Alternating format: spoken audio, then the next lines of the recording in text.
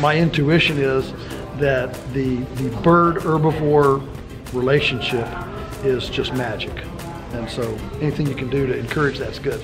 How do we use sheep in a permaculture system? That is the question Joel Salatin is going to be answering for us today. A few years ago, I had the distinct honor of getting to meet Joel Salatin and sit down with him on camera and do a brief interview. We've all heard how Joel uses chickens and cattle together in a system, and how the pigs and cattle work together in a system with the pigaerator system. Look real closely right there. You see written across the forehead, will work for corn. and they then seep the fermented corn in the bedding and go through it like a big aeration beater, all right, and convert it from anaerobic, and this stuff's four feet deep, okay? They convert it from anaerobic to aerobic compost. So the animals do all the work instead of $20,000 compost turners, double handling windrows, and all the sophisticated orthodoxy ways we hear about doing, um, doing composting. The beauty of the animals doing the work is, you know, they don't need their oil change, they don't need spare parts. Uh, you know, what a retirement program when you're done with them, you eat them, you know. So, and, and we're not asking them to do something they don't like to do. This is hog heaven, all right? This, is, this fully respects the pigness of the pig. Um, and, and their unfair advantage. You and I can't do this, okay? But the pig can. It honors the pig, and so so uh, we don't have to drive them anywhere. We don't have to steer them anywhere. They're out here doing all this work while we're out, you know, cutting wood or reading a magazine or taking a nap or whatever it is we do. You know, they're doing this. But we don't often hear Joel talk about how he uses sheep in his system as a whole.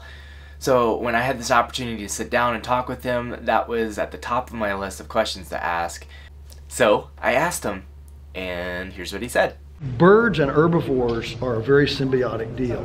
So I'm a big believer in running birds behind any herbivore if you possibly can. Uh, the other option with sheep, I mean, the way we've been using the small flock uh, so far is essentially like a like a, a, weed eater, like a biological weed eater. We're running around the farm buildings and the yard and little edges of fields and stuff like that, and we're using netting.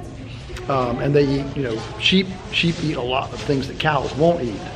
And so, you know, they eat a lot of the weeds and the brush and the, and the different things and kind of use them as a, as a bit of a, of a weed eater around the edges. Um, one, one thing that we've done is uh, use them like on permanent fence, like a boundary fence, you know, where you, you know, if you mowed it like in a hay field, you know, you can't go right up against the fence. Um, and so we, we, we run long, thin like scallops out from the fence and let the let the sheep eat right up against the bound, you know, just to keep the, the fence line clean, those kinds of things. Internal electric fences, same thing. You, you can you can you know do a real long, narrow, I mean narrow like you know, 10 or 12 feet wide and 50 feet long, you know, and encircle an area with, with netting. Uh, so the sheep and the sheep and netting work real real well, and. Uh, often, often we have a guard dog in there with them as well, and um, that, that's work. But yeah, I don't know that the, the benefits of poultry behind sheep are as big as the benefits behind cows just because of their, you know, their different kind of manure. But um, uh, I just, I, I don't know that. My intuition is that the, the bird herbivore relationship is just magic. And so anything you can do to encourage that's good. That was a good answer, but it wasn't really the answer I was hoping for. I was hoping to hear how we'd have this beautiful symbiotic relationship with say sheep and rabbits. I don't know anything anything to incorporate them with all these other systems. But really what joel is saying is there are all these uses for the sheep but they don't have the same benefit the same relationship with these other elements within the farm that we see elsewhere.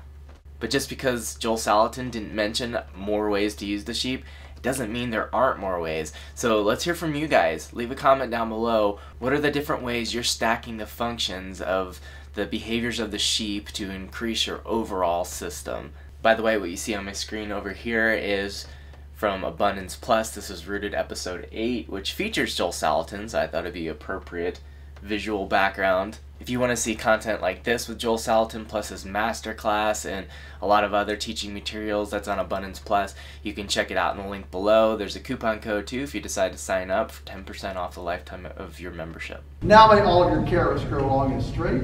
May your radishes be large but not pithy. May tomato blossom end rot affect your Monsanto neighbor's tomatoes. May the coyotes be struck blind at your pasture chickens. May the rain fall gently on your fields, the wind be always at your back. Your children rise and call you blessed. And may we all make our nest a better place than we inherited.